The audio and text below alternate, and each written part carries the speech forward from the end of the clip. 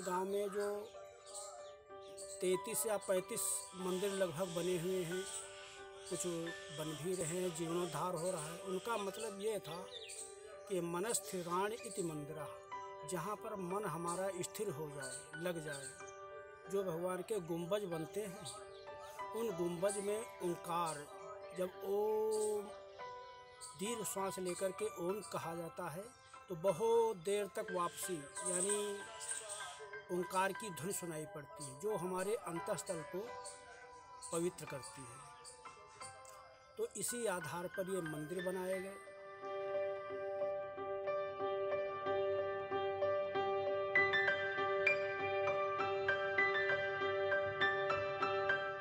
सबसे प्राचीन गाँव के पहले 1800 में लगभग, संबत 1800 सन 1743 में लगभग मंदिर का निर्माण हुआ। तो पहले मंदिर का निर्माण करके फिर गाँव बसाया गया। तो इसी प्रकार से कई लोग गाँवों में इस प्रकार से मंदिर का निर्माण किया।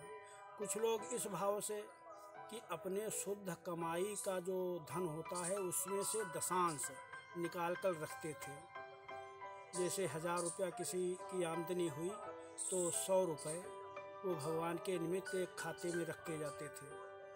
फिर अंत में जब इकट्ठा हो जाता था तो मंदिर का निर्माण वो करते थे। लोगों का कहना है, यहाँ पर ऐसे ऐसे विद्वान हुए जो राजा साहब लोने सिंह के भी पंडित रहे, लोने सिंह के गुरु रहे। ये यहाँ पर लगभग मंदिर पैंतीस के करीब हैं।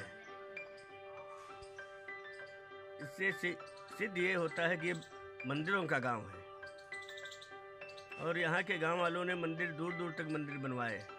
सीलापुर का मंदिर, एक इधर गाँव के दक्षिण में क्लेशरण बाबा मंदिर और अन्य जगह बाहर जाकर भी मंदिर, कुआँ वगैरह बनवाते रहे। मंदिर 200 वर्ष पुराना, ढाई सौ वर्ष पुराना। कुछ तो मंदिर ऐसे हैं जिनको कोई जानता ही नहीं है। कि ये कब बना, किसने बनवाया? जैसे एक पड़ोस में ही हमारे गाँव का ही मजरा है, मूड़ा, वहाँ जंगलीनाथ धाम है। उसका तो कोई जानता ही नहीं कब का मंदिर बना है, किसने बनवाया है। और शिवलिंग की लोग कहते हैं कहते हैं, ऐसी विशेषता है उसको सोचा गया था, दूसरी जगह पर रखवाया जाए। तो जितने खोदा गया, उतने नीचे शिवलिंग चौड़ी होती चली गई। कि शंख कपाल लसे कर में और दूसरे चक्र त्रिशूल संवारे। शंकर विष्णु भगवान के अस्त्र शस्त्र उनका वर्णन है, स्वयं समझ लें। शंख कपाल लसे कर में और दूसरे चक्र त्रिशूल संवारे, और मणिमुंडन माल गले बिलसे और दसों दिशमा निज तेज पसारे। राधिका पार्वती दिशबाम और सबय जग नासन पालन मारे और गरुड़ध्वज और वृषभध्वज जी।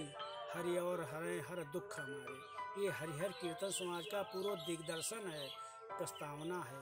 यानी गरुड़ध्वज जिन भगवान का गरुड़ गरुड़ वाहन और वृषभध्वज यानी नंदी भगवान तो ये हरिहर भगवान का स्वरूप है।